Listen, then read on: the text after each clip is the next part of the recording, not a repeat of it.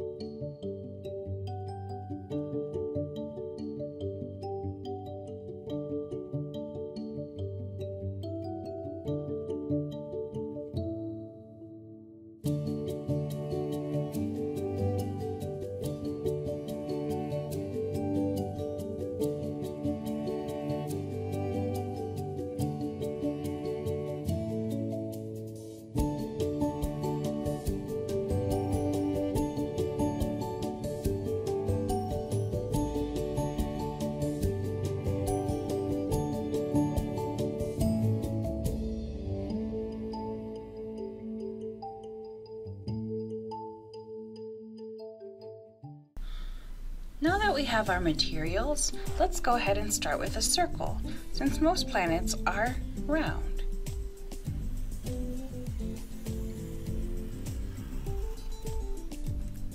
Now it's your turn. The colors I chose today were red and brown. So I'm going to start with red, and then I'm going to look at the, what features I would like to add. Let's see, I think I'm going to do mountains, and I think I'm going to do stripes. Let's do mountains and stripes. I want my mountains to be red,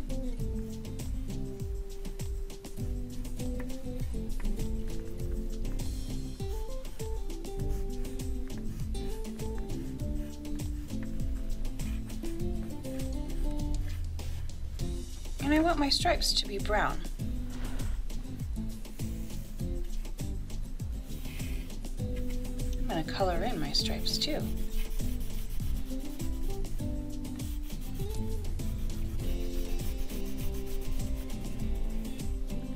While I'm finishing mine, choose which features you'd like on yours. Would you like to do swirls, stripes, clouds, spots, rings, mountains, or waves.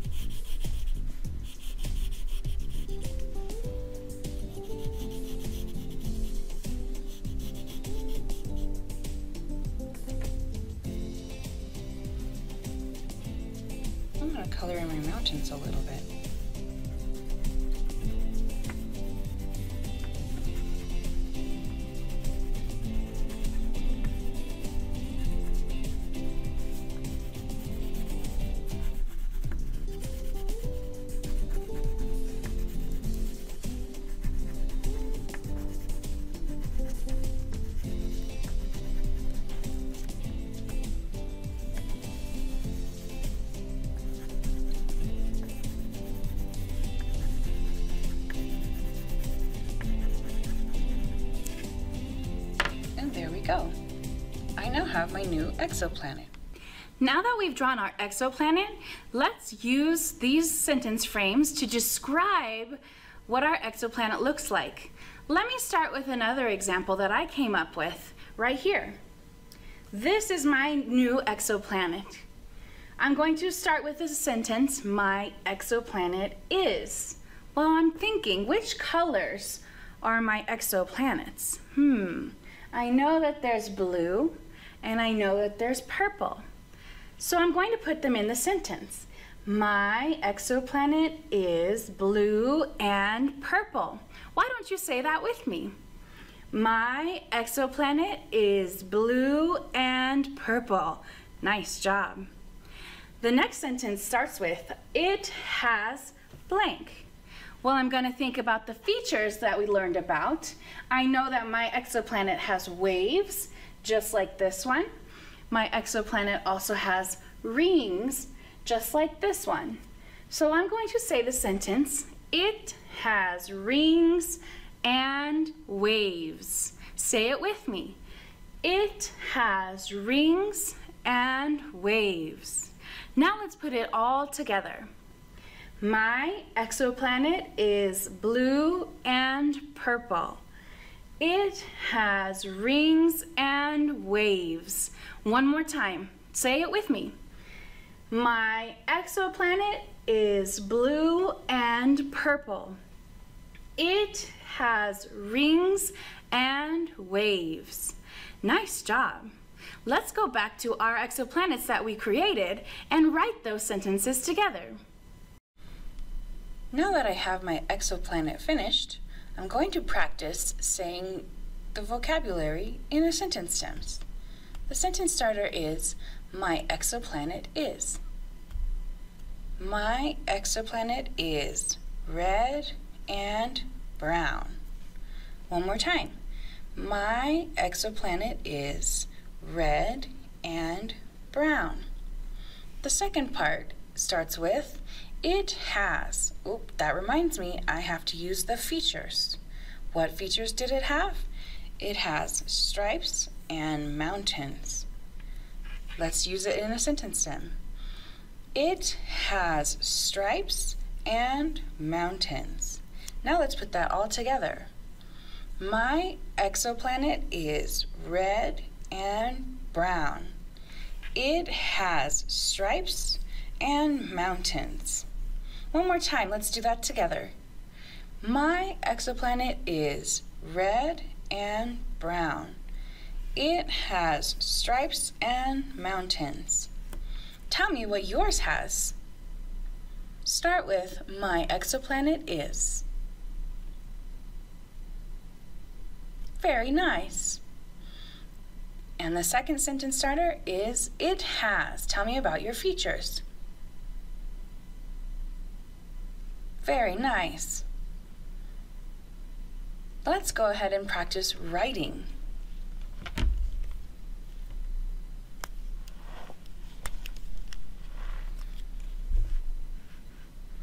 At the bottom of your page, let's put our sentence starter. My exoplanet is. I'm going to put a line for now so that we can get our sentence starters on here. It has.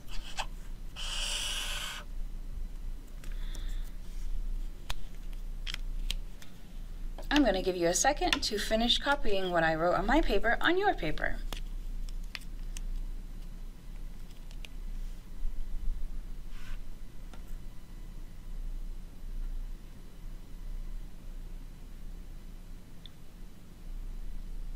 Great. Now remember, my exoplanet is is describing the colors. What colors do I have? That's right, red and brown. So I'm going to look for the vocabulary word red and write the word red. Red. The next color is brown, so I'm going to look for brown. Brown. Oh, red and brown.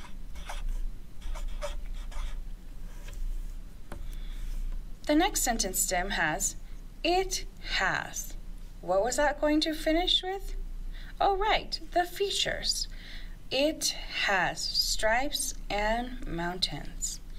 It has stripes.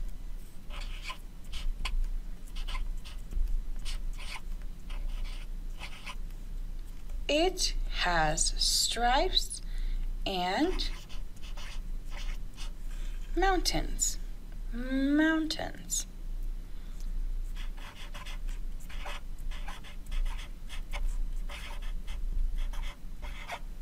Now it's your turn.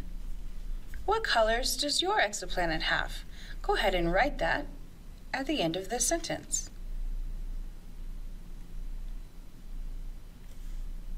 What features does your planet exoplanet have? It has blank. Make sure you write your features in this line.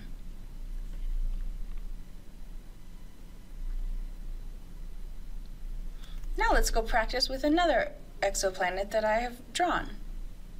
Friends, thank you so much for joining me while we were learning about exoplanets and their colors and their features. Did we meet our goal? Well, let's see. Today we will learn about exoplanet colors and features. We did that. Great job. High five. We met our goal today. I can't wait to learn with you next time on Kindergarten ELD.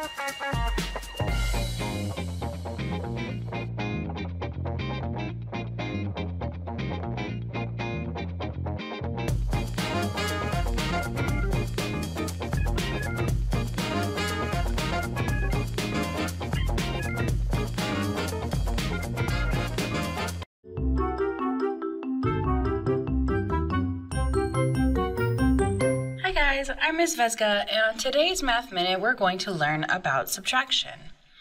Let's take some toys that I found to learn about subtraction. I had five toys. I let my brother borrow two toys. How many toys do I have left? Let's count. One, two, three. Five take away two makes one, two, three. Nice job. Let's try that a different way. I had five toys. Then I lost four of my toys. How many toys do I have now? One. Let's see that in a different way. One, two, three, four, five. Take away four equals one. Great job. Let's try that with a different material. I have five crayons. I let my best friend borrow one crayon.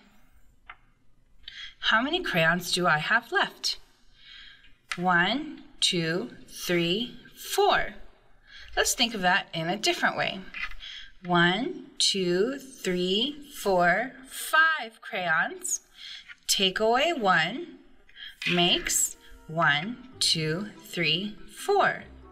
Thank you for learning with me on our Math Minute.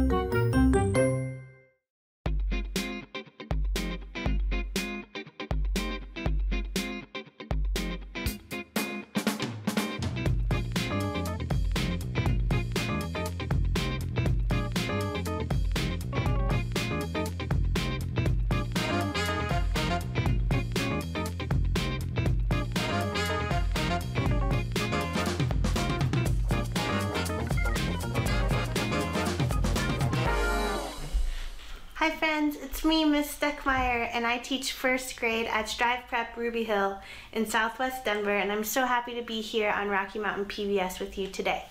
Today our lesson is about constellation art, but before we get started, this is a reminder that this is an ELD lesson, which stands for English Language Development.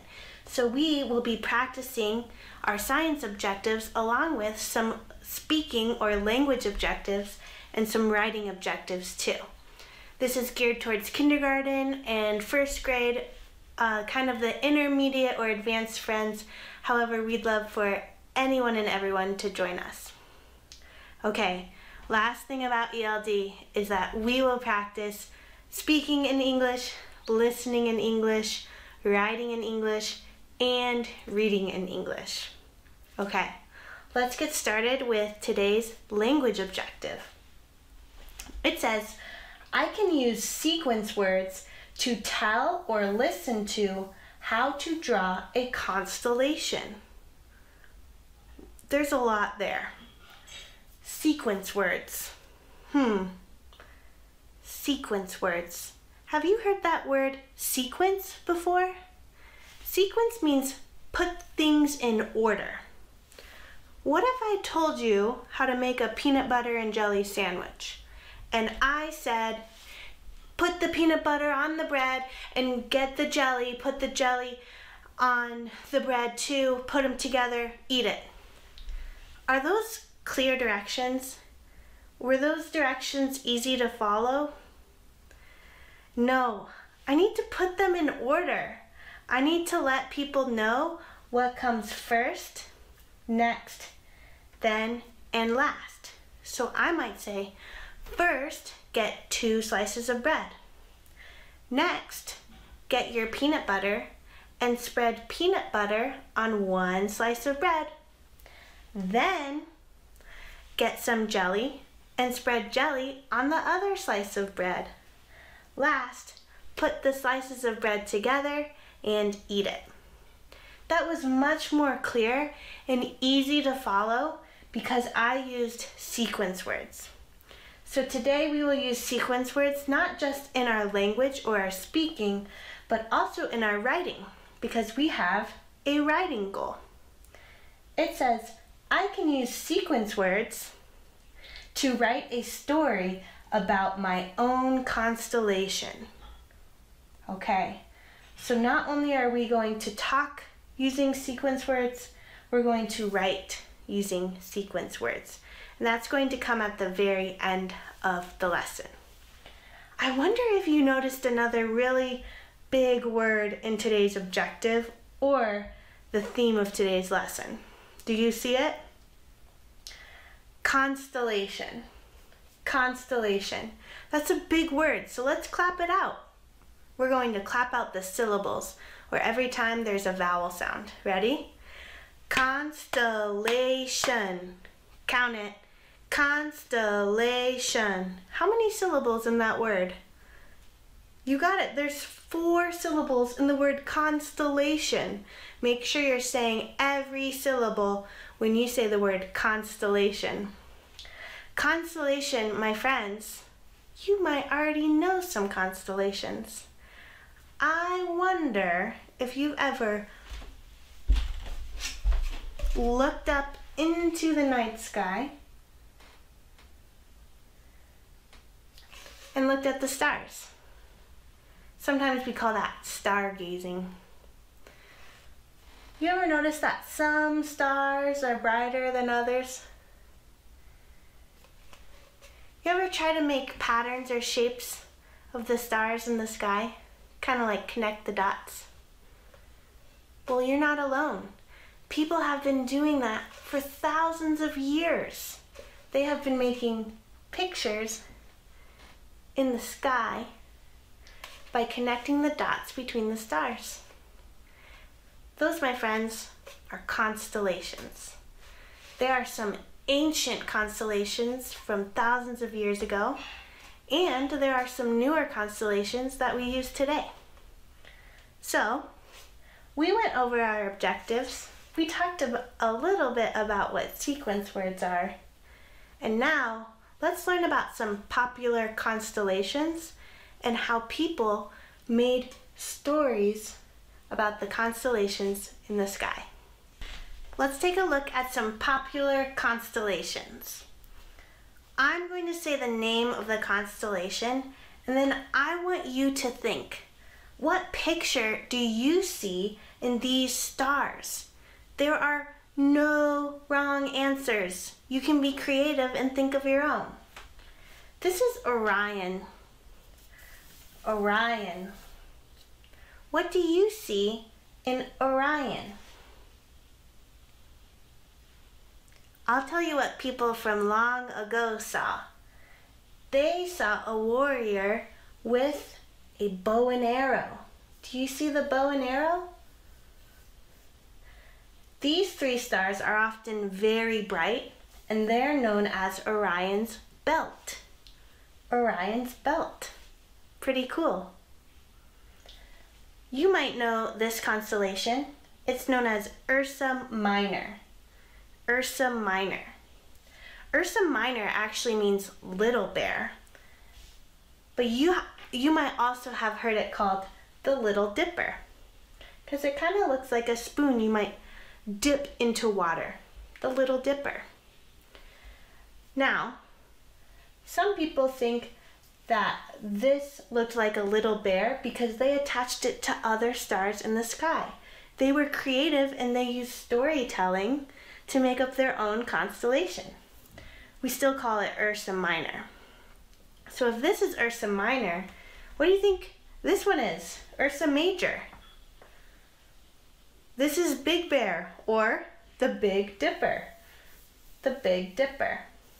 The Big Dipper is often one of the brightest constellations in the northern night sky. That's where we are on the planet. We're in the northern hemisphere. So you often might see the Big Dipper. The Big Dipper is also important because it has helped people from all over the world be able to navigate where the North Star is. So it helps people know where they're going at night, especially sailors out on the ocean. This is Pegasus. Pegasus. Hmm. What do you see in the Pegasus constellation? You might see kind of a horse with wings. I think it's kind of hard to see. I think you have to kind of tilt your head maybe. A horse with wings. Maybe you see it better than I do. That's the Pegasus constellation. Remember, constellations move in the sky. So sometimes they won't be straight on. Just like Orion is tilted like this. Sometimes the Little Dipper or the Big Dipper, you might have to tilt your head to see it right. This is Draco. Draco. What picture do you see in the Draco constellation? Draco is a dragon. Do you see the dragon's tail and head? That's pretty cool. Like it's a big dragon tail and head. Awesome. So friends, people from long ago used the constellations to tell stories or even to tell the history of their people. When we make patterns in the sky and we're creative, it's natural to make patterns in our stories or be creative in our stories with each other. So I wonder, can you make a story out of any of these constellations? Hmm. Can you use sequence words to make a story with any of these constellations? I wonder what Orion's story is. A warrior in the sky. Or I wonder what Little Bear or Big Bear's story is. Or Pegasus, how did they get their wings? Or Draco, what kind of dragon are they? Are they a nice dragon or a mean dragon? I love constellations because they are a mixture of science and art and creativity. So, I'm going to show you how you could practice creating a story about a constellation, and then we're going to do it together. I'm going to choose Orion. I'm going to use the sequence words first, next, then, and last. Here we go. First, there was a very, very shy boy. His name was Orion.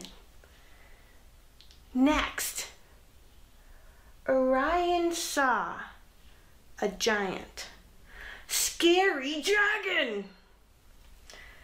Then Orion pulled his bow and arrow out of his belt. And last, Orion shot his bow and arrow right into the dragon's heart. We did it! We came up with our own story about a constellation. So, friends, that's what we're going to do next. I want you to be thinking about what sort of picture you could create by connecting the dots, and then what sort of story you could make up about your own constellation. Remember, these are actual constellations, very popular ones, that you can look for in the night sky. When it's a clear night outside, it's so fun to look at the stars. Now, I don't know about you, but I get a little nervous when I have to read a story to the class, or I have to make up my own story, or I need to be brave, or I need to be creative. So, I have some calm down strategies. These are from my friend Miss Lloyd. She's a great teacher at our school. Let's see. I think I want to do five finger breathing. Do you know about five finger breathing? It helps me feel so calm when I start to get nervous. Let's practice it together. All you need to do is put your hand out, start at your thumb, have some marker on my hands. When you go up on a finger, you breathe in. And when you go down on a finger, you breathe out. Let's try it nice and slow.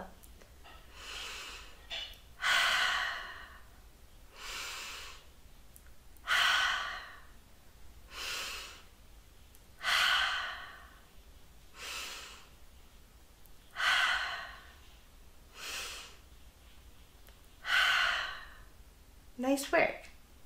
There's another strategy that I want to show you on this card. It's called raw spaghetti, cooked spaghetti.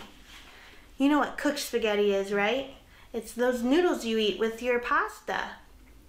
Now, raw spaghetti is stiff. It hasn't been boiled yet. So raw spaghetti means that we're gonna er, tighten our muscles. We're gonna tighten your fists, kind of like you're mad.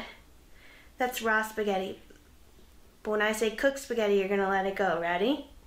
Cook spaghetti. now try it in your shoulders. Raw spaghetti. Cook spaghetti. Whew. Try it in your toes. Raw spaghetti. Cook spaghetti. Hmm. Try it in your face. Raw spaghetti. Cook spaghetti. I like the shoulders. I'm going to do that one more time. Raw spaghetti. Cooked spaghetti. Wow, these are strategies you can do anytime you might be nervous for a presentation or you might be really, really tired after recess and you need to release some energy or you need to calm down after recess and you need to release some energy. These are great ways to get you refocused. All right, I think it's time to make our own constellation art. Let's go for it.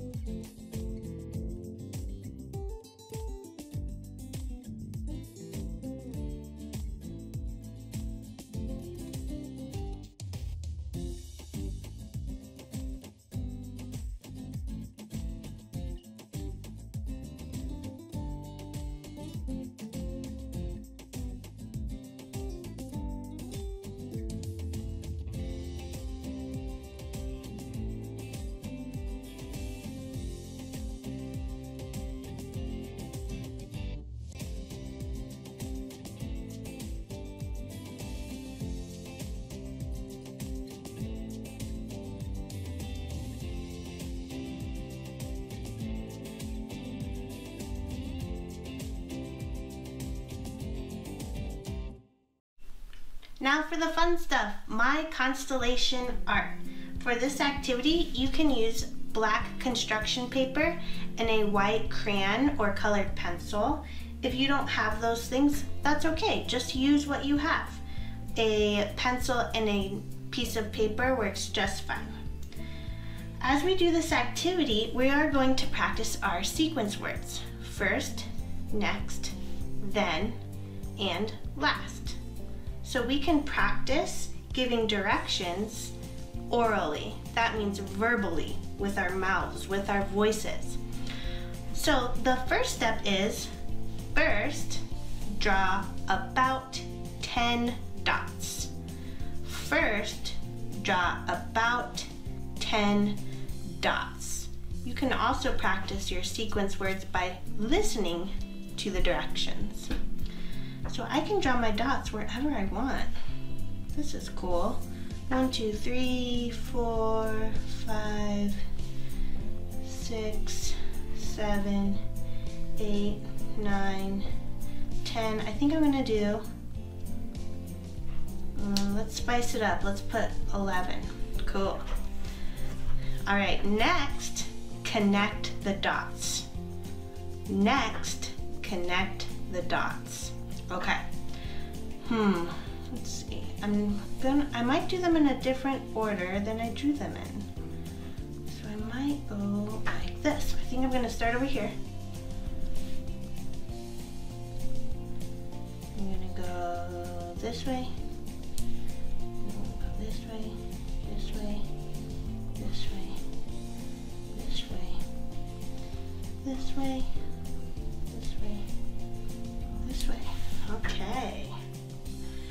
Then think of a picture that your dots make. Hmm.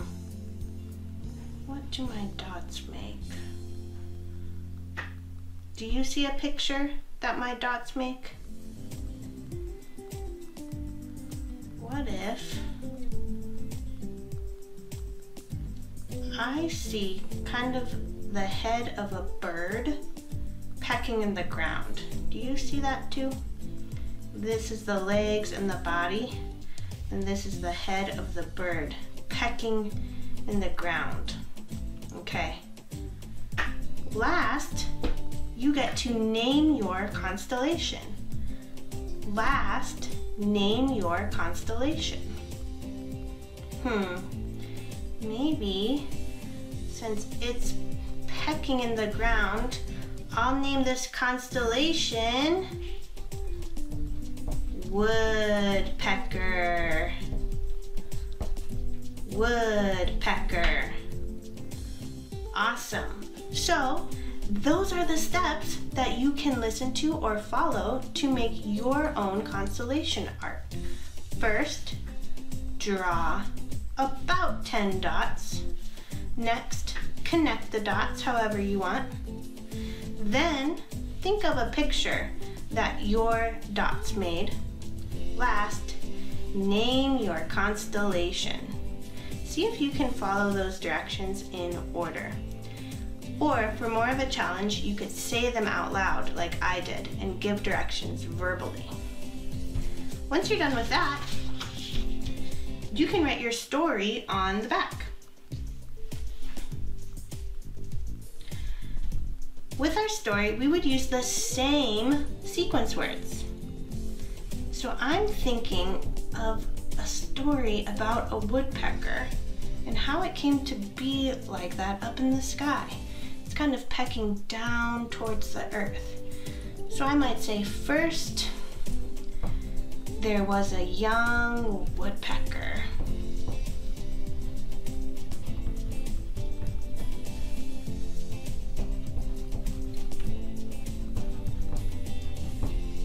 First, there was a young woodpecker. Next,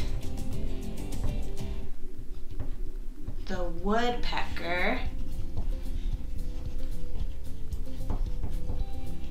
was hungry.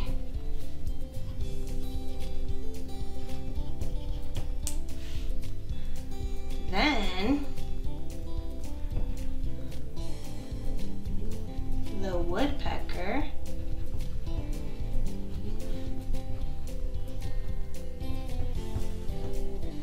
saw.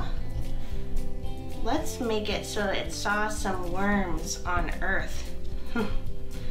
Some worms on earth. Last the woodpecker. Woodpecker got a worm. That is my story about my constellation. I use sequence words to put my story in order. When you're older, after kindergarten and first grade, you will learn some exciting transition words, other than just first, next, then, last. But for now, in kindergarten and first grade, these are great words to use when you're telling a story so that you can keep all the events in order. Let's read it one more time. First, there was a young woodpecker. Next, the woodpecker was hungry. Then the woodpecker saw some worms on earth. Last, the woodpecker got a worm. The end. Try to write your own four sentence story about your constellation using the words first, next, then, and last. I can't wait to see what you write. Can't wait to see what you come up with. What a fun lesson about constellations. Thanks for joining me. See you next time. Bye.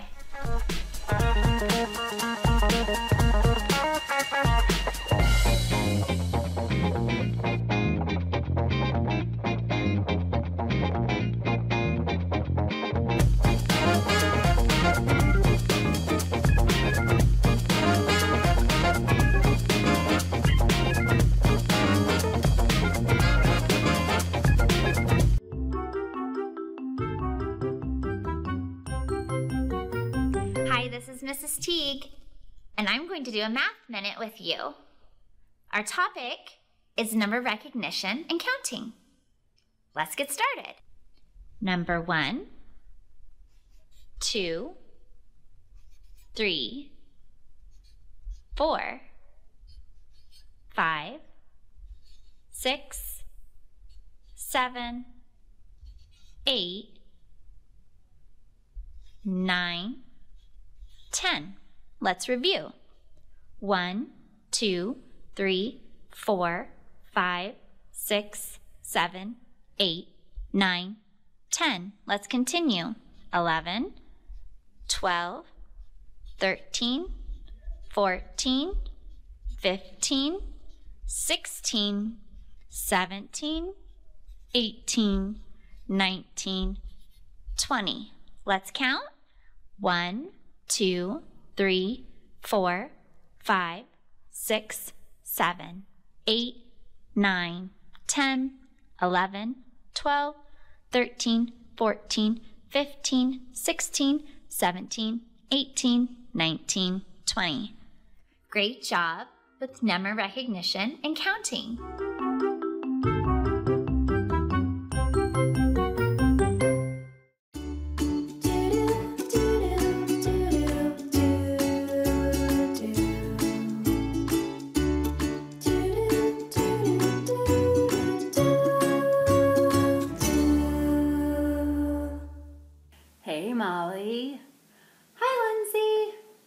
Molly, what's going on today? Well, today I was working on a project and it's not going the way I want it to. Ah, that happens sometimes with projects, Molly. Tell me about it. Well, at the library, they're having a contest about who can draw a picture that they turn into a bookmark. And I've been working and working on a beautiful picture, and none of them are coming out the way I want them to. I have an idea about what I want the picture to look like, and it just won't come out that way. Molly, it sounds like you're feeling frustrated. I am so frustrated. Yes, I am frustrated. Oh, Molly, where in your body do you feel frustrated? I feel frustrated in my hands and in my shoulders and in my belly and my face is kind of tight and uh, tense. Feel frustrated everywhere. Oh no, Molly. That's a problem, huh? It sounds like an uncomfortable feeling. Yes!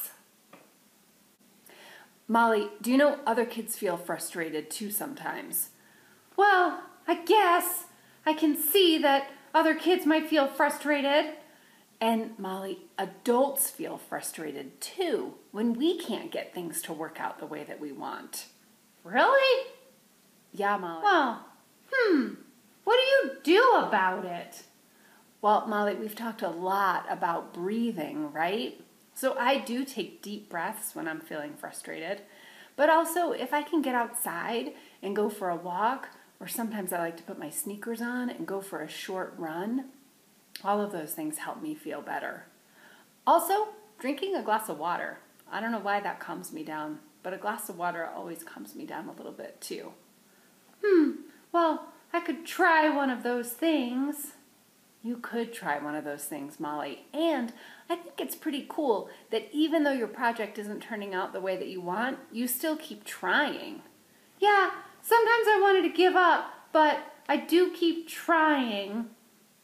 Molly, I wonder if there are any kids who want to share with us what makes them feel frustrated. Sometimes I'm frustrated when Grandma says, no, I can't get, can't press the icing cake. Frustrated. Oh. Ooh, that's frustrated. Yeah. Hmm. Grown ups, it's normal to feel frustrated for our kids and for us, especially right now when things seem to be really difficult. It might be helpful for you to help the children in your lives to come up with a short list of strategies that make them feel calm when they're frustrated. Hey, I like that idea. Maybe you could help me make a list for me. Sure, Molly, I'll help you make a list. Remember, feel your feelings.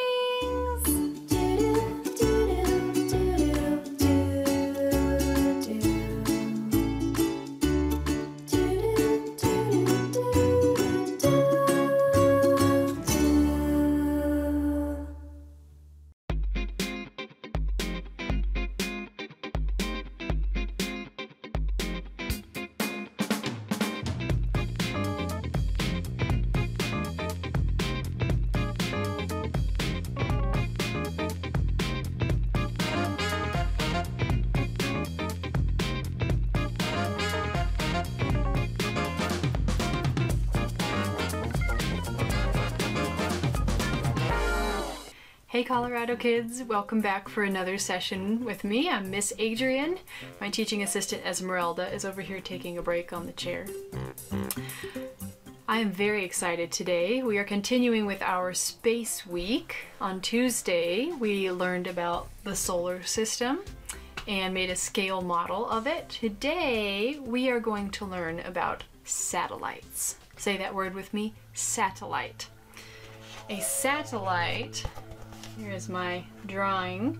Satellite is an object that people send into space to orbit around a planet. Remember, we learned that word orbit on Tuesday.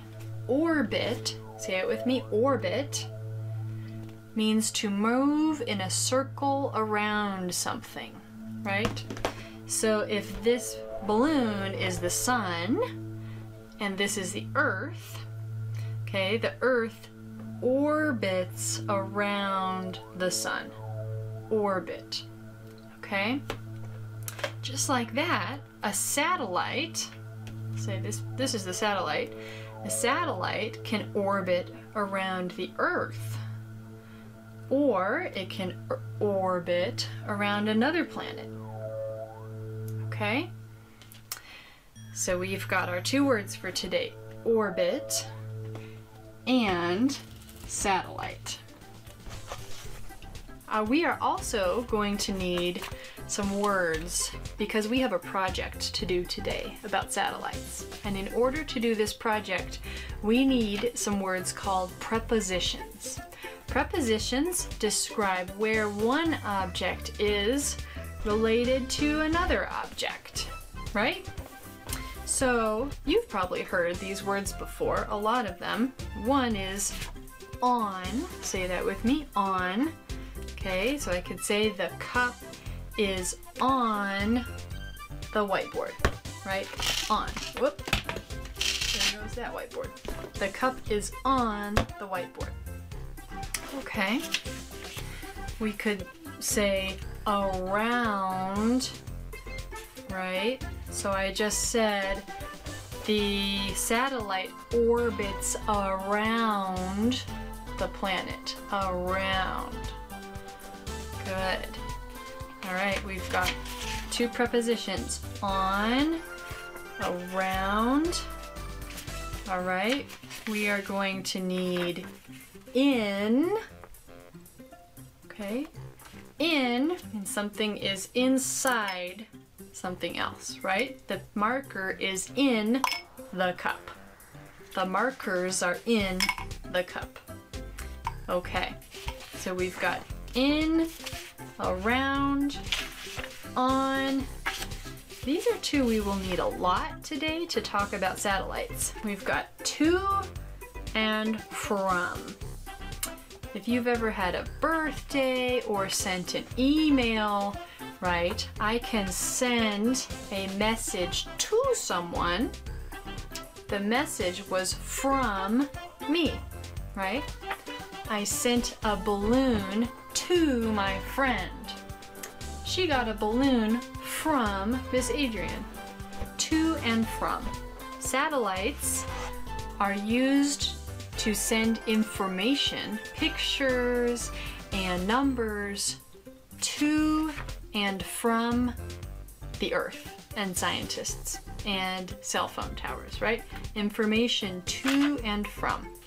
Okay, I have a little book for us to learn more about satellites, and then in a little bit, we have some guest speakers coming who are experts in satellites. Are you ready? Okay, this is a book called Satellites. Hi, Miss Adrian. Here's a picture of a real satellite floating above Earth, orbiting around Earth. A satellite is an object that people send into space to orbit around a planet. The purpose of a satellite is to send and receive information to and from Earth. Did you hear some prepositions on that page? I heard a few. Let's go back and see. A satellite is an object that people send into or in space to orbit around a planet. Ah, the purpose of a satellite is to send and receive information to and from Earth. There are some yellow words on this page that might be new vocabulary. Orbit, we learned that one. We know what that means. Send and receive is like sending a message and getting one back. I sent a letter and I received another letter. I sent a present to my friend and I received a thank you card. Okay, so satellites send information to Earth and receive information from Earth. Send and receive. Satellites are used for many things. They can send us pictures of planets. They can send and receive cell phone and television signals. They are even used to make GPS work so we can find our way around. I use my GPS on my phone all the time. If I didn't have a map on my phone, I would be lost my entire life. So let's look back at this page again. Are there any words, new words you recognize? They can send us pictures of planets. Do you remember those pictures of planets we saw on Tuesday? Those were from a satellite. They can send and receive cell phone and television signals. Oh, so even when we watch TV and talk on the phone, that is from a satellite. Scientists use satellites to learn about other planets and to study things about Earth, such as the weather, pollution, and natural disasters like hurricanes, earthquakes, tsunamis.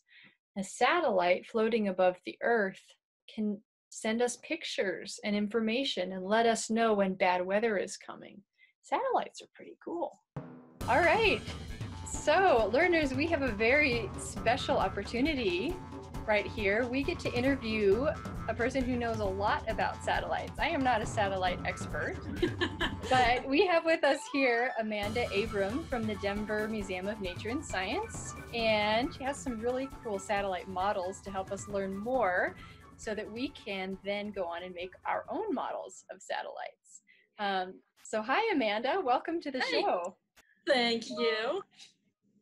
Do you want to tell us first a little bit what you do at the museum, maybe? Yeah, sure.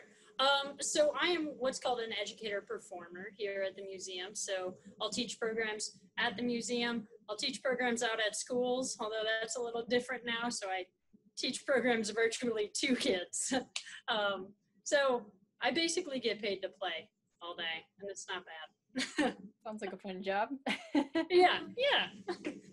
Great. And I, I, I'm guessing a lot of our learners have been to the museum, maybe. So they've maybe seen some of these things in person. Who knows? Yeah, it's entirely possible. I know this uh, this Mars rover was on display for a little while, but we have shut down space because we're redoing it now. Um, so we had to remove this one so it didn't get damaged. Oh, got it. Well, cool. Well, let's see. We, in our episode today, are learning all about satellites and what they do and how they work. Could you teach us a little bit about what satellites are used for? What is their purpose? Sure. Um, so basically, a satellite is an object that goes around another object. Um, so if we think about it in like a more general term, uh, the Earth is a satellite because it goes around the sun. The moon is a satellite because it goes around us. So anything that goes around another object is a satellite. Now, typically, the ones that we're referring to when we say satellites are those uh, things that we send from here on Earth up into space to do a specific purpose. Um, most of those are up there for what we call utilitarian purposes. So uh, they are like serving us in some way. Uh, some of those satellites are up there to study the atmosphere, uh, TV signals, uh, communications, so making phone calls, um, all come from satellites. So things that we do every single day that we don't really think about um, actually happen with the assistance of satellites. Hmm. Yeah. So probably a lot of the kids watching this show maybe didn't even know that their phone, their tablet, the Oh. map that their parents use on the phone is thanks to a satellite. Exactly. Thanks, satellites, right? How Um, so yeah, we have those satellites that that give us TV or cell phone signals or GPS um, directions. But we also have satellites out in space that are sent up there for a specific purpose of studying the composition of planets. So what makes up their atmospheres? Um, studying just deep space, things that are out in space, comets, asteroids, uh, all sending information back to uh, Earth, telling us about what's up there. Because we obviously can't send a person to Jupiter, can't, send a person to Pluto right now. It would take forever. It takes us nine years to get to Pluto. So putting a human on a on a space shuttle out to, to Pluto is just not ideal. So we send satellites um, and probes instead to help us understand what's out there when we can't as humans go there. Cool. I think on Tuesday we actually learned how many miles between the sun and Pluto, and it was like two billion, way too far for a human to go see. Exactly. I couldn't even say the number off the top of my head. So yeah, I get it. It's it's way out there. Um, so as far as parts of a satellite, um, a lot of satellites share a lot of things in common. So two systems is your power system, right? We can't just take a really long extension cord and plug our satellite in here on Earth and then send it up to space. Nobody has a s uh, an extension cord that long or a power cord that long. So we have to think about other ways to power those. And a lot of them are powered by solar panels. Um, so this is the Mars rover. So like I said, this is not a satellite, uh, but it shares a lot of the common uh, things that satellites have. So these panels right here, these are all solar panels. Um, those take the energy from the sun and convert it to energy that our satellites uh, can use. Because we have scientific instruments on these things. If you look here, this is actually a camera. Whoa. Yeah, so this is a camera up here. There's also two more little cameras down here. You can't really see them because they're pointing down at the ground. Um, let me see if I can move that further. But we have to have ways to power those things, right? Yeah. And, and the Energizer Bunny is not going to do it, right? So they use renewable energy to power the satellites? Yes, and solar power is uh, a big thing here on Earth right now, right? So some of the same stuff we use up in space to power our satellites, we're figuring out, uh, and it's becoming more common to use down here as well. So these scientific instruments need to be powered too. So that's where the power systems uh, come in place. So you have power systems, you have communication systems. I'm going to shift because there is a antenna. Sorry, I've got a cord in the way. Can you see this little antenna right here? Yeah, we can. It's called the high gains uh, antenna. And this antenna actually sends communications up to the Mars, uh, I'm blanking, the MRO. What? Oh, back there. so it sends informa- information back to the Mars reconnaissance, reconnaissance orbiter, and that orbiter is what sends the information back to Earth. So when the rover gets the information, that antenna right there sends that information up to the MRO or the Mars uh, Reconnaissance Orbiter. And then the orbiter is the satellite that actually sends it back to us. Ah. So, On- go for it. so this this contraption sends the signal and the rover receives it and then sends it to Earth. Yeah, so this contraption back there sends the information up to the, the orbiter that's going around Mars, and that orbiter is what's sending it back to Earth. Oh wow. It's like a So big there's our game communications. telephone. Exactly, the longest game of telephone ever. um, so you have communication systems on satellites, you have power systems on satellites, and then many of them have scientific instruments as well. I already pointed out the camera here, uh, the camera down there, down here. I'm going to close it even more. This guy right here. This is a drill. So- Why does a satellite need a drill? So this this is a rover, um, but I was giving you for some scientific instruments that might be on it.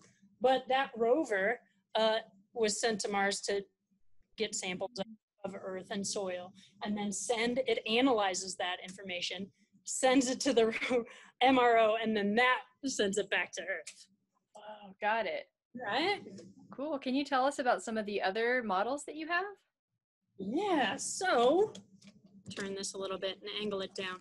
So this one that you see right here, this is the Hubble telescope. So the Hubble is what goes around Earth, but it takes a lot of really great pictures of deep space. So uh, some satellites are up there to study, like I said, study compositions of planets and atmospheres, or to study deep space, like take pictures of nebulas, which a nebula is like a little baby star nursery. Oh, So I know they're all wearing little diapers up there, ready to be big stars. so when we see really cool pictures of like galaxies and stars, like on the internet, that's all from a satellite?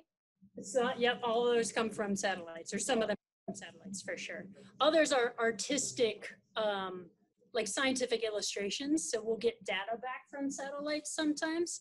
And then scientific illustrator, so a professional artist uses that data to draw a picture of what we think it might look like. Cool.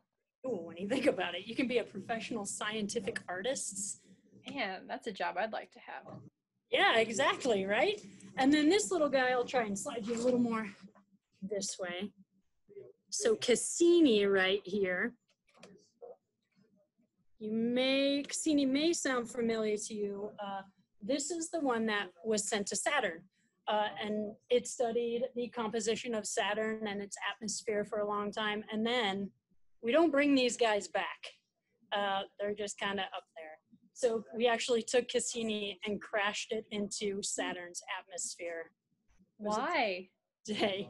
Uh, we can't bring them back, and we don't want it to, you know, damage something else, so we crash it into the atmosphere. So when you're when the satellite is too old to use anymore, crash it, done with it. Yeah, sometimes this guy, um, as it went through the atmosphere, it kept sending data back. So we got even a, a better understanding for what Saturn's atmosphere was like until it pooped out on us. oh, I didn't know that.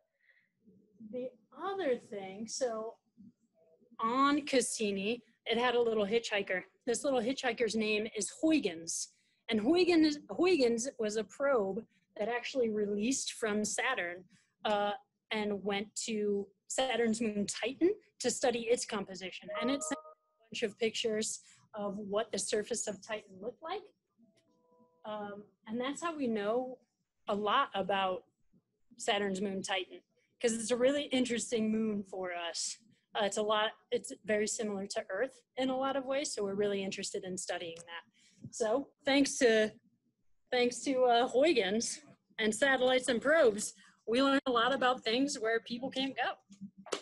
How cool. Well, Amanda, I know we're we're just about out of time. Is there any last nugget of information you think we should know about satellites before we go to build our own models? You know, um, man, satellites can do a lot of cool things, and they're really important uh, in the study of space because they go where people can't.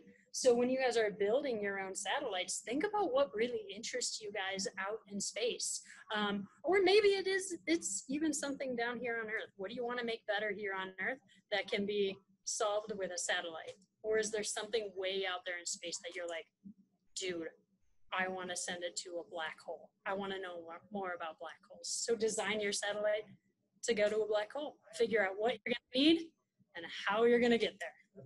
I love that. We could build customized satellites. What a great what a great thought to end on. Amanda, thank you so much for spending time with us today. I think our learners are really excited to go learn more and build some models and maybe someday become satellite engineers. I don't know. Exactly. Exactly. All right, we'll see you another day. Thanks, Amanda. Sounds good. See you guys later. Bye-bye. Bye. Okay, thank you so much, Amanda and Franklin. I really learned a lot. Did you guys? Now that we know all about satellites, let's make our own. Right here, I have a diagram. So, a diagram is a drawing or a picture that teaches us about the parts of something or how it works. So, a diagram of a satellite. Let's study it for just a minute before we build our own model. Okay, so the pieces that a satellite has to have are a power source. So that could be a battery, a solar panel, some way for the satellite to get energy so that it can run. Okay, so power source. It will need a communication device. That's what it will use to send and receive information from Earth, right? It can send photos and receive photos. It can send cell phone signals or receive them. It needs a communication device. Okay, a container. That is basically just the part where they keep all the cool gadgets and pieces together in one space, a container an orientation finder. That's a big word. Orientation means finding your way around. So, this is a device that the satellite needs to know is it facing the right way? Is it orbiting correctly? Is it facing the planet? Right? So, it can take pictures of the right place. Orientation finder. And finally, satellites have lots of different science instruments, right? Because satellites can be used for different reasons. So different satellites have different gadgets and gizmos and parts on them. Okay, so those are the five main parts of a satellite that we will need when we go to build our scale model of a satellite. Here we go. Okay, you can see here I have gathered my materials to make my scale model of a satellite. I'm going to use a box to be the container where they keep all the important parts inside. I decided to use renewable energy, so I'm using tinfoil as solar panels. For the orientation finder, the way the satellite knows which way it's facing, I'm using an old marker cap. Okay, for the scientific instruments, I'm using a piece of a sponge. And for the communication device, the way it sends and receives information, I'm using a plastic cup. To hold everything together, I'm using scotch tape. You can use other materials that you have at home if you don't have these. Lots of different materials will work. Just make sure you have all the pieces a satellite needs to function. Okay, so to connect my container with the communication device, we're going to need those prepositions. So don't forget, we've got in, around, on, to, from, and into. I'm going to poke a toothpick into the cup and then I'm going to poke it into the box to make it hold together.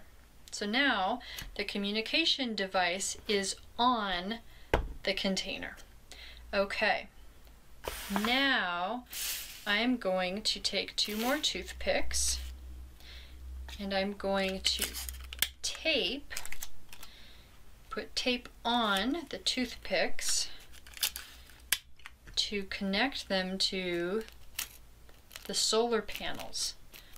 Those are the energy source for the satellite. Now I'm going to use tape to connect the solar panels to the container. I'm taping them on top of the container. All right, so now I have my container, my power source, my communication device. What's missing? Oh yeah, we need scientific instruments. So now I'm going to take my sponge. And the scientific instruments, remember, can be different depending on is it a telephone satellite that sends cellular signals? Is it a scientific satellite that studies other planets, right? It might need different types of instruments to accomplish its job. Okay, I've got my scientific instruments. The only thing missing is the orientation finder. That's the way the satellite knows which way to face to make sure it's getting photos and information in the right direction. I'm going to use tape to attach my orientation finder to the front of the satellite to make sure it's able to figure out where to face. All right. I taped the marker cap onto the container in front of it. I stuck my toothpick into the cup and into the box. And now look at that. I have my very own model, scale model satellite ready to fly into space and collect some information to send it back to Earth. All right, learners, that's all for today. Don't forget to check the lesson materials for instructions on how to make your own scale model satellite. You can also learn more about satellites at the NASA website, NASA. And it is time because you have completed your fourth lesson with me. First, second, third, fourth lesson with me. And that means we are getting closer to solving the riddle. What has 10 letters and starts with gas? We have A, U, T. Today's letter, drum roll please, is dun dun dun dun. We have A U T O. Ooh, only six letters left to go to solve the riddle. I hope you will tune in again next week for some more fun with me. Thanks, Colorado learners. See you next week.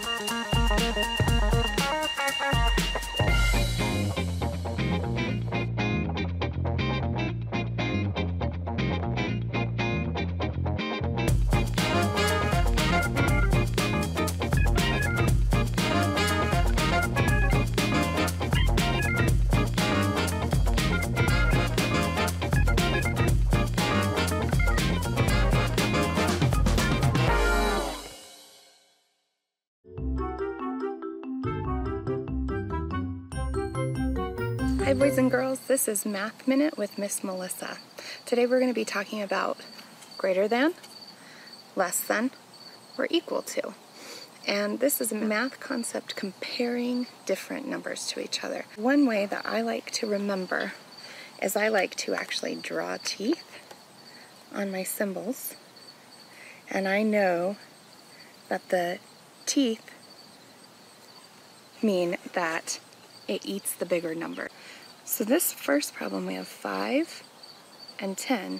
We're trying to think about our symbols. We're trying to think about our greater than, less than, or equal to symbols. And so I know that 10 is a bigger number than 5. So I'm going to say that 10 gets eaten by that alligator.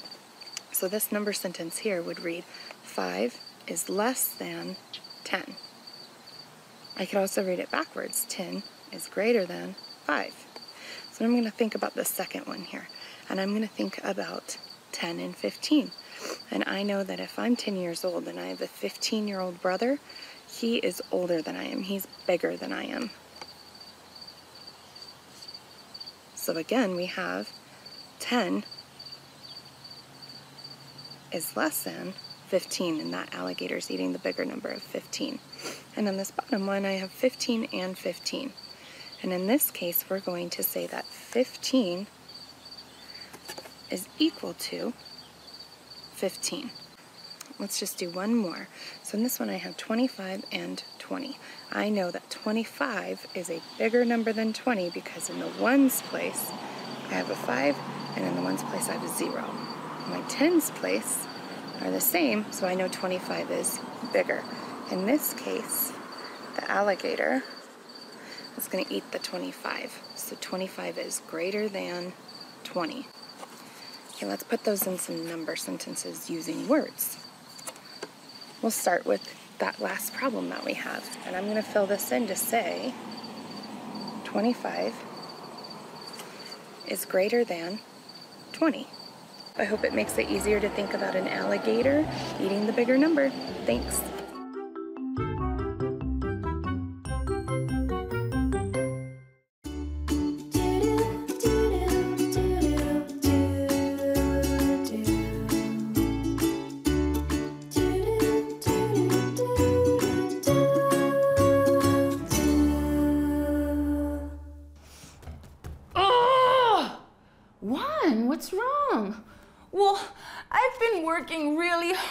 This painting for my abuela's birthday, and all of a sudden I just spilled water all over it.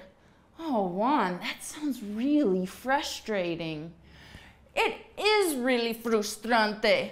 My body is tight and tense, and my face is all scrunched up, and I just want to scream. Wow, Juan, that's definitely frustrating. Kids, can you show us your frustrated faces? Wow, Juan. Looks like you're not alone. There are a lot of other kids out there who felt frustrated before. Is it because they spilled paint? Well, I don't know, Juan. Different people get frustrated about different things. Kids, what makes you frustrated? I get frustrated when I can't do my schoolwork. See, Juan? You're not alone. A lot of other kids have felt frustrated before.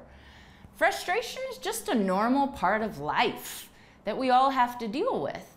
And it's how we deal with it that's important. Well, what do you mean?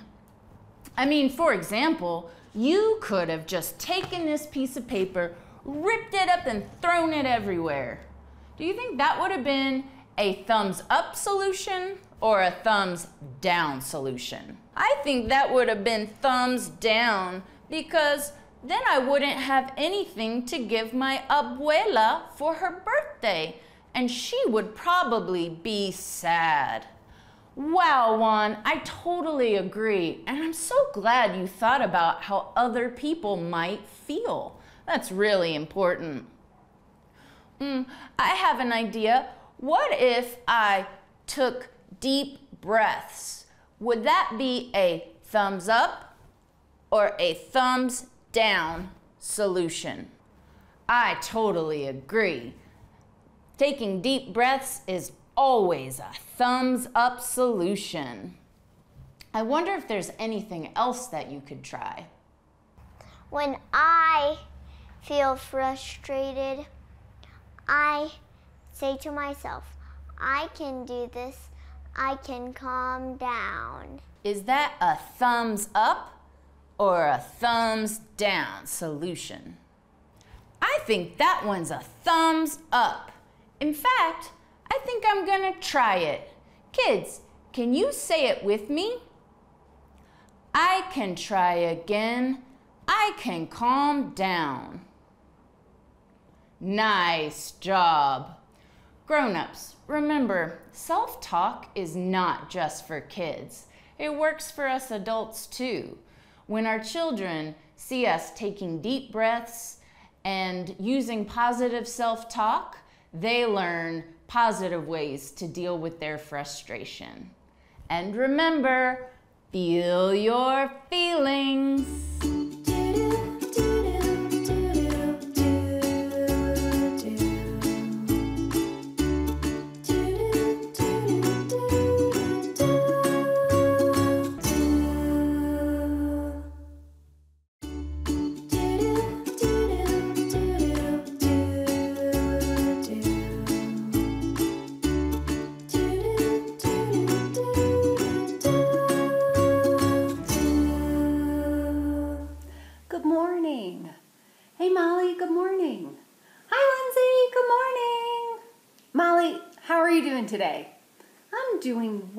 Today.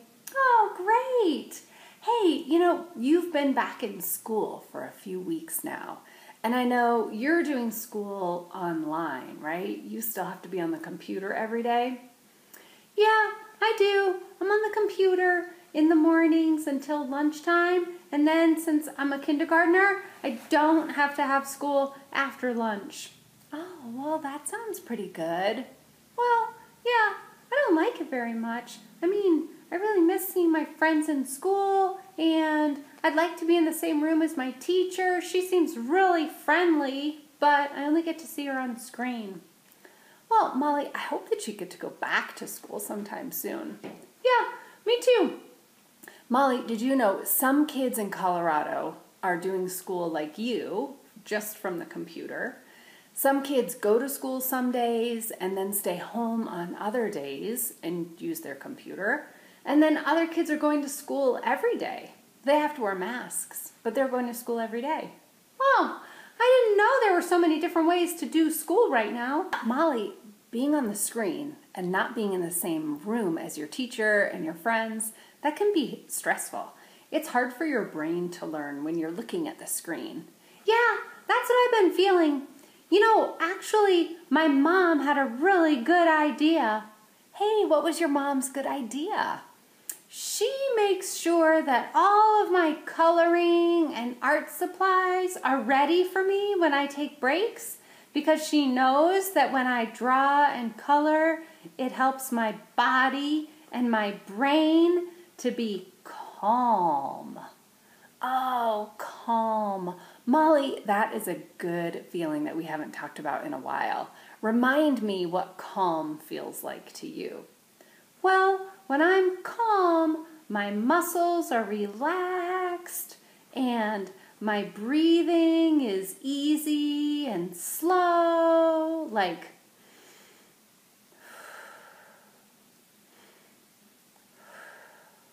Oh, yeah. And how about your belly and your shoulders? Oh, yeah, my belly feels comfortable and my shoulders are relaxed. They're not all squished up by my ears. Oh, yeah, Molly, feeling calm is a good feeling.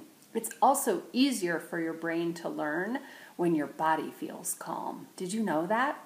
No, I didn't know that. Huh, that's cool. Hey, I have a picture of myself coloring. Do you want to see it? Yeah, Molly, let's check out that picture. Oh, Molly, you look really calm. Grown-ups in the room, go ahead and pull out the crayons or the Play-Doh, and as your child has a chance, um, invite them to do some coloring and see. Does it help them relax? Does it help them get their brain ready for learning again? Yeah, I bet it does. That's the way it works for me. I'm glad to hear that, Molly. What do we want people to remember? Feel your feelings.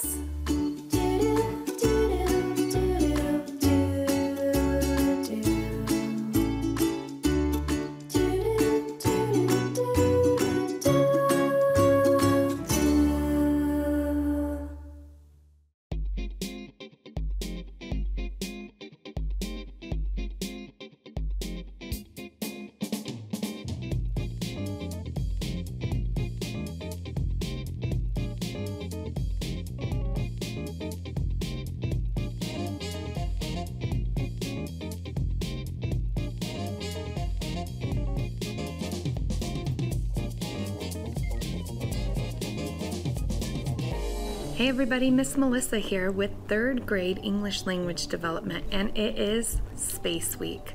I love learning about space. I love outer space, I love telescopes, I love everything that you can possibly imagine that has to do with the universe, the sky, everything out there.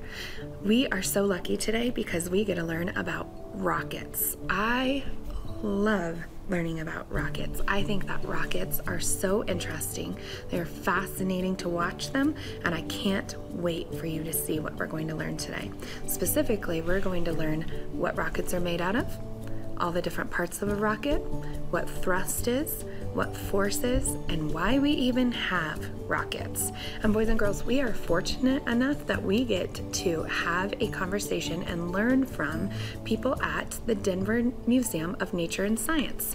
And Miss Amanda knows so much about rockets that she has decided that she will share all of that information with us. And I am so lucky and so blessed to have that opportunity to talk to her.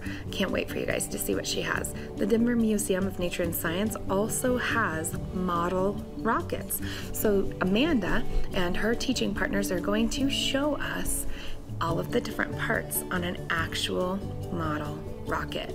I can't wait. Let's go meet Amanda.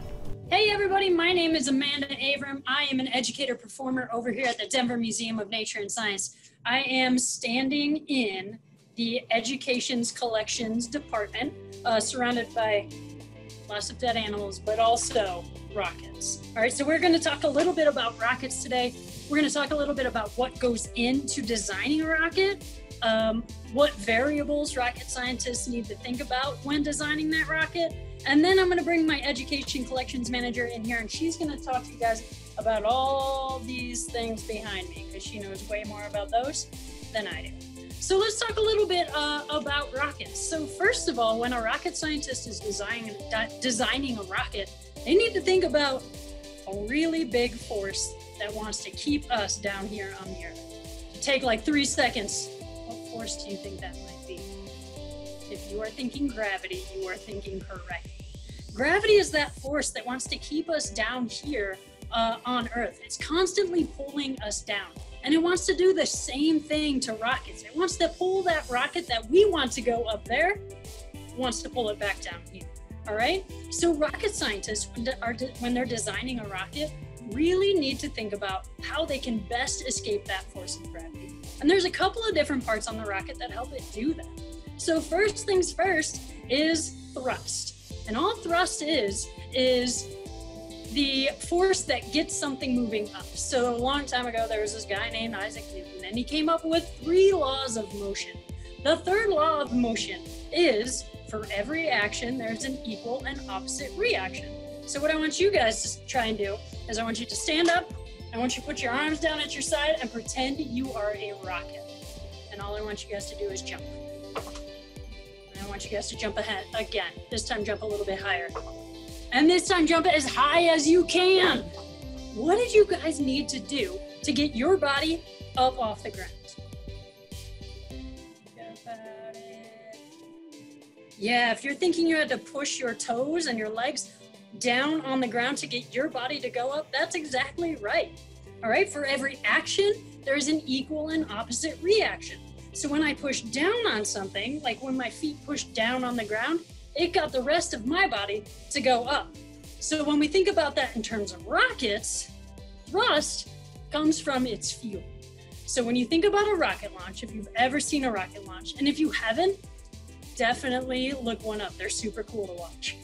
When you think about a rocket launch, you get the countdown. You get 10, 9, 8, 7, six, and you start to see that smoke coming out from the bottom of the rocket. And then it gets to one, and you see all that fire. That fuel pushing down on the ground is propelling that rocket up into the air. And it gets it going really, really, really fast. But once we're up into the air, we want to be able to maintain that speed so that we can get that rocket out of our atmosphere and into space. But there's another force acting on that rocket. All right, and that force is friction. All right, so Newton's first law of motion says an object in motion tends to stay in motion until acted on by another force. All right. And that other force we're talking about is friction. All right. So if you guys take your hands and you put them together and you rub them, all right, you rub those hands together, your hands start to get warmer, right? That's friction. Think about uh, if you were on a, or if you roll a ball across the floor, that ball doesn't go forever, right? Something is slowing that ball, that ball down. Something is making that ball stop, and that is friction. When we're talking about rockets, though, we use the term drag. Drag is slowing that rocket down, and all that drag comes from air. All right, our atmosphere. There's air molecules, right? And those air molecules are rubbing against the body of the rocket, trying to slow that rocket down. So if you actually look behind me, you see a nose cone. That nose cone's job is to push air away from the body of the rocket to reduce that drag, to keep that rocket going up in the air at that speed so that we can get it up out of our atmosphere. And the last part we're going to talk about are the fins. All right. The fins aren't just on there to look cool, they provide stability in flight. So if you think about a balloon, if you blow up a balloon and you let that balloon go, does it fly in a straight path or does it go all over until it runs out of air? Yeah, it kind of goes all over the place, right? So by putting fins on our rockets, it helps them fly in a more stable path. We want that rocket to go from point A to point B in the fastest possible way. We don't want it going this way and then that way and then up and then down and then over this way and over there. We just want it to go straight up into space. So our fins on our rocket are what provide stability for that. All right. Now, once we get that rocket up into the atmosphere, thrust comes from its exhaust. There's no air in space, right? So it's hard to keep to, to direct things. So we use thrust in space. Going back to that third law of motion. All right, if we want that rocket to go in a certain direction, we use thrust to push out to get the rocket to go this way. Again, keep in mind this. If I want to go up in the air, I got to push down, okay? So whatever direction I want to go, if I'm a rocket and I want to go this way, my thrust or my exhaust is going to push out this way, propelling this way. All right? If I want to go up, my thrust is going to push down to push me up. All right? So you see all these super cool things behind me. These are all models of rockets that NASA has used. Um, so, and then we've got this private partnership with SpaceX, which is doing some really cool things. So I'm actually going to bring our education collections manager in here. Her name's Evelyn Bush. She knows way more about these cool objects behind me than I do. So I'm going to invite her onto the screen and I'm going to jump off.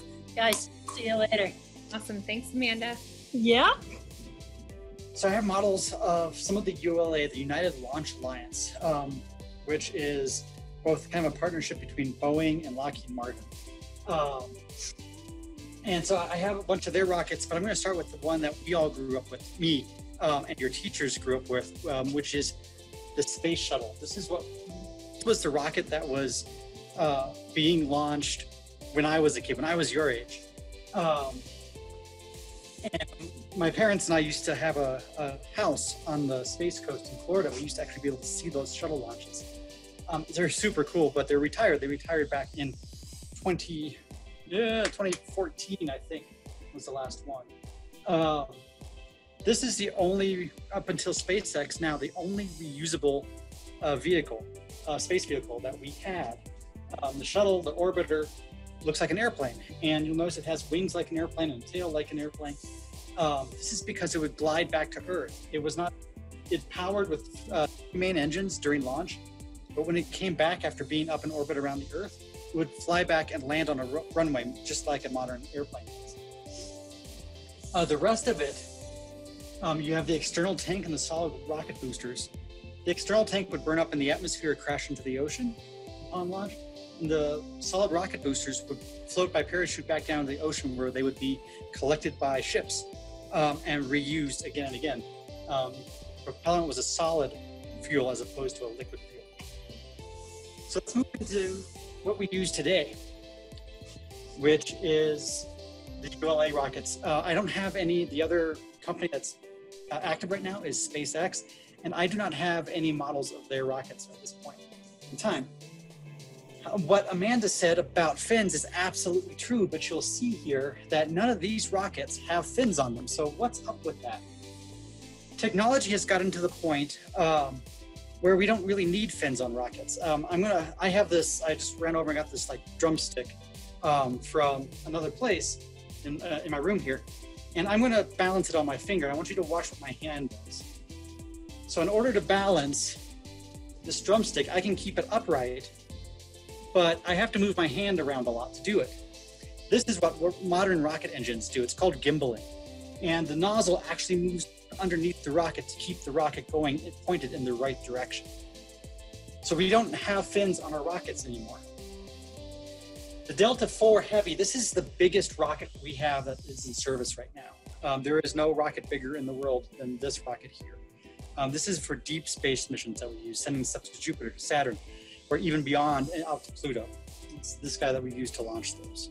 Um, I haven't told them yet what, what we use rockets for. So what do we? What, would you mind explaining really Absolutely. quickly what, what they're used for? So rockets are used to put satellites or probes uh, into orbit. So when you make a telephone call, that that signal that goes from your cell phone goes to a tower, but often will go up to a satellite and move across, be beamed across the country with that satellite.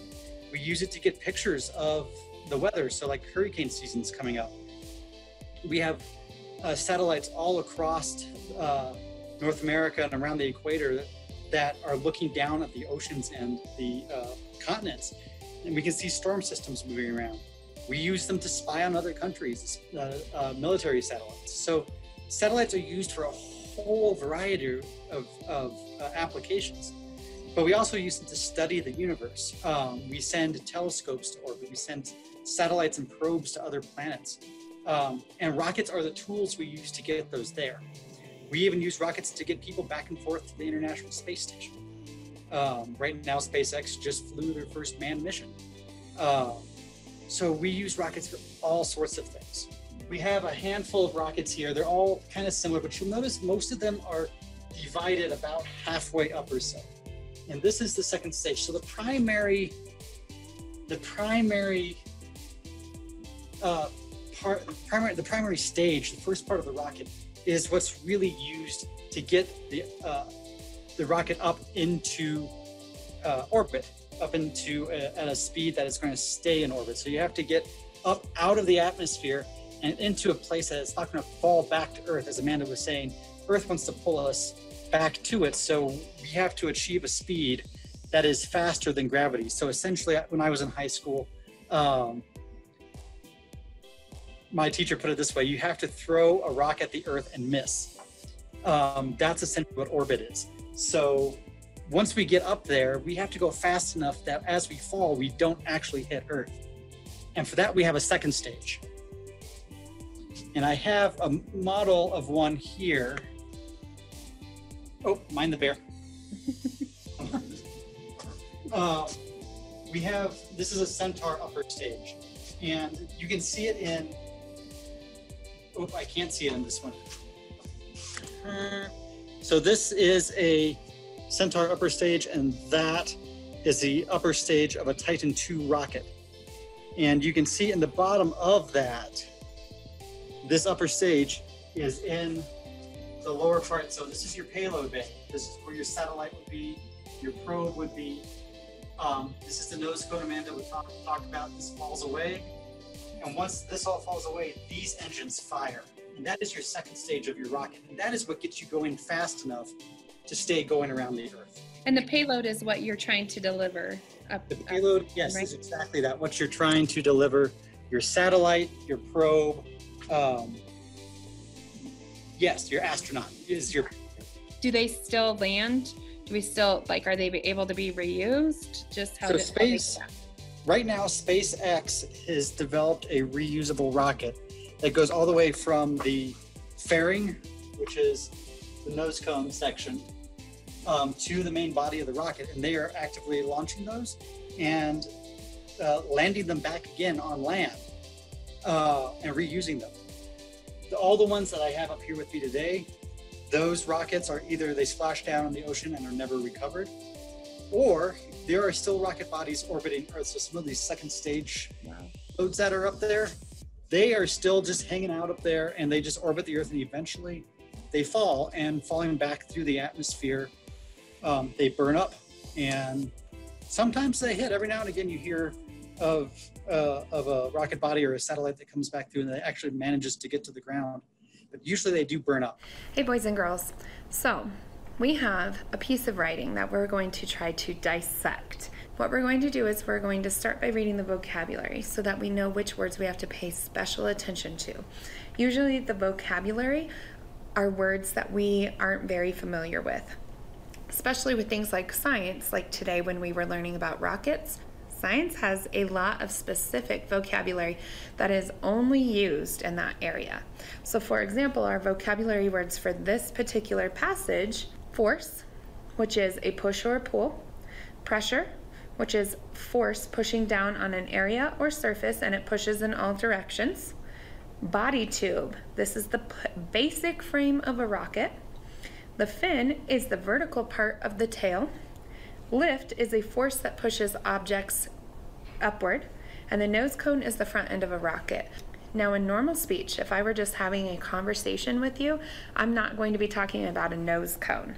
I'm not going to be talking about the body tube or fin or lift or even usually pressure or force. So these words are very specific to what we are learning in science, specifically with rockets. So I'll pay special attention to those as I'm reading through this passage. And then there's a question at the end. And one tip that I like to give to my students is to read the question first. And that gives you kind of a purpose for why you're reading.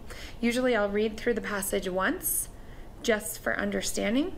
Then I'll read the question, go back through, and look for the answer to that question before I answer it. So I'm going to pretend like we've already read this once through just for understanding.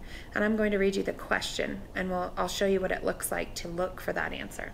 So the question that I have is what causes a rocket to take off? So in other words, what causes that rocket to go from being stationary on the launch pad to up in the air and then out into outer space? What causes that? What is the reason why it is able to take off? And I'm going to read with you this passage. Rocketry is a fun and easy way to bring many science and math principles into the classroom. These simple classroom rockets make it easy to bring rocketry principles to your homes. Rockets are used to send people and items into space. You will create straw rockets to model the physics of a rocket launch, and that's what we're doing with Porter and Chase today. Rockets follow Newton's third law of motion, for every action, there is an equal and opposite reaction. And so I'm thinking in my head, this is what Amanda talked to us about today. This is what they were talking about when we when we got to have that really special time with the Denver Museum of Nature and Science. The simplest explanation of physics and rocketry is that gas, pressure, power is released from the rocket in one direction. Okay, so I'm going to underline that because I feel like that is part of the reason why that rocket is able to take off. What I underlined is gas, pressure, power is released from the rocket in one direction, which causes the rocket or object to be forced in the opposite direction. Okay, I'm going to underline that also because I feel like that's important too. So that's that equal and opposite reaction. In our puff rockets, the gas would be the air that comes out of our breath in the real rockets and the ones that we saw the models of from the Denver Nature from the Denver Museum of Nature and Science, those ones have an explosion, right? Those ones have the pressure and the power and all of that buildup from the explosion that causes the rocket to have an equal and opposite reaction that makes it shoot up into the sky. To create a force, which is a push or a pull on the rocket, we will use the air in our bodies, to create a pushing force. And this is what we were talking about just a second ago. This in turn will create a lot of pressure. Pressure is the amount of force over an area. Did you hear our vocabulary words as we went? So, usually in a text like this, you hear the definition of those words in the text. So, for example, pressure was a vocabulary word, and then it gave us a context clue. The text actually told us what pressure is, and it said pressure is the amount of force over an area. The more air you force through the straw, the more pressure there is on the inside, so the more force there is pushing out of the straw. When enough pressure is created in the straw, the rocket will be forced to move off of the straw. So this asks the question, what causes the rocket to take off? So what I'm going to write is I'm going to write, first of all, my question stem. And every good answer has a question stem. You can't start with the word because, and you can't just start mid-sentence and say pressure. You can't start mid-sentence and say a force. You have to have a question stem. What are you answering? So I'm going to take part of my question and use it in my answer. So it says, what causes a rocket to take off? I'm going to say a rocket takes off because. Do you see how I kind of twisted those words? So a rocket takes off because. And I, I reread what I underlined. That helps me to keep track of the answer that I had found in the text. So I'm going to reread and it says that gas pressure power is released from the rocket in one direction. And then later on I kept hearing the word pressure, so I'm just going to use the word pressure. A rocket takes off because pressure is released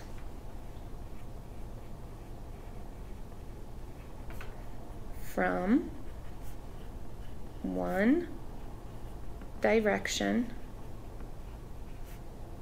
of the rocket.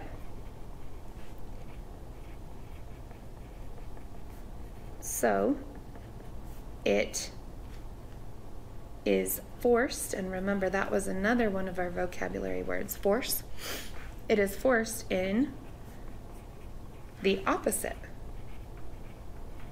direction and that way I've kind of also tied in Newton's third law of motion. So good writers always reread what they've written to make sure that their brain or their hand didn't make some kind of simple mistake because all too often our hand gets writing faster than our brains can go or vice versa and we make simple little mistakes often. So i'm going to make sure that my answer makes sense. So i said a rocket takes off because pressure is released from one direction of the rocket so it is forced in the opposite direction i feel good about this i know that i found my answer in the text also so i know that i have answered this question completely and correctly with a question sum so i know that my teacher whoever that may be Miss Melissa or someone else would be happy with my answer. So boys and girls, I hope that this helps you to answer a text dependent question, which is what we did here. If you can find the answer in the text, it is a text dependent question.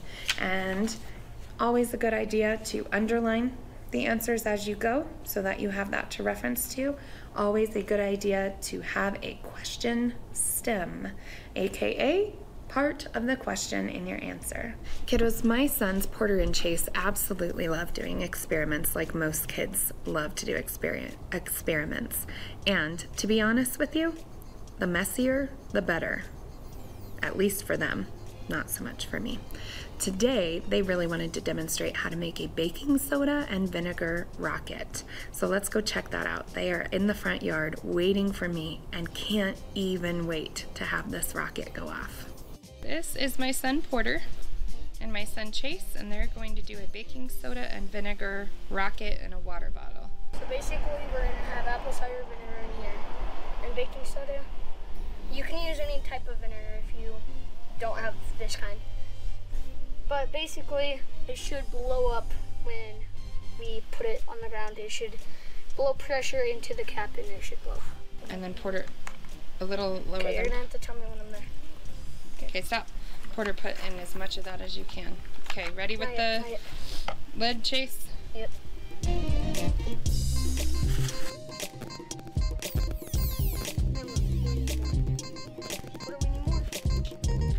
Why didn't you more? So Porter and Chase realize that not everybody has baking soda and vinegar on hand, and not everybody's parents are going to say, please go make a rocket that will explode and get baking soda and vinegar all over you in my front yard. So they have also created some puff rockets out of straws and pieces of paper, and they're going to show you how they did that, and they're also going to show you how to launch them using nothing but the breath in your mouth and a straw.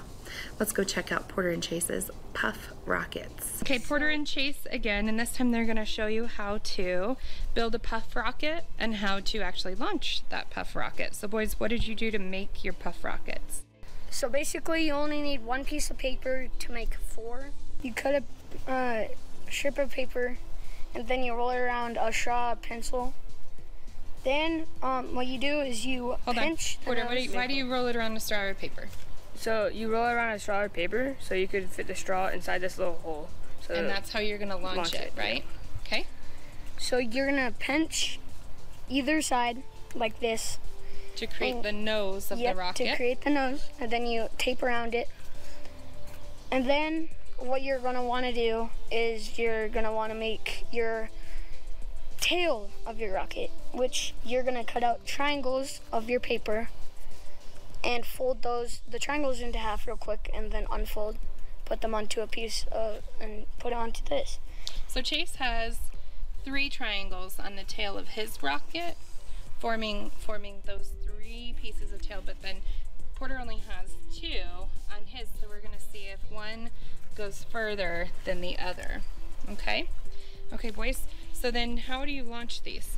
So you put the straw into the tail and you shoot it up. Okay. Without it and far- okay, far launch this way. Let's see how far we can get these to go.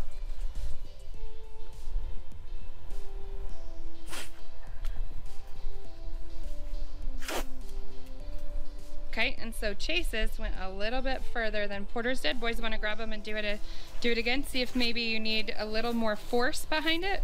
If you blow a little bit harder, if maybe it'll go a little bit further, or, or if you want to blow a little softer, or angle your straw a certain way and see if it goes. Might have to aim it a little to the left. Yeah, and that's all about. That's that's what science is all about, right? Making adjustments and and fixing the things that you need to. Because if really, if they wanted to, they could stop here and they could fix the tail, they could fix the nose, they could fix anything they wanted to and make adjustments as they needed to. Okay, And ready? You guys could like put so much tails on here that it could go further than this. Right. Could add weight. And I noticed that um, maybe the angle of how you shoot them matters too. Porter's sh- shooting straight ahead, and Chase is angling up a little. And um, the only reason why these aren't going super far is because of the tail. It's a little crooked on mine, and so is Porter's. So you would make some adjustments. You would recommend some adjustments. That one went pretty far. So did Porter's. I hope you guys enjoy making your own if you want to. So I'd recommend more wings. And if you guys More can, tails? if you guys can beat us, maybe, maybe add some suggestions. Maybe send send in their suggestions for how to make theirs go farther to help you guys out with how to make yours go farther.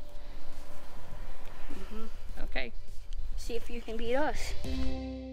Wow, boys and girls. That was such a fun day. I had so much fun learning about rockets and doing all of those fun experiments with you. I can't wait to have another day with you. Can't wait to see what we're going to learn next. Join me next time on more Colorado Classroom. See you soon. Thank you.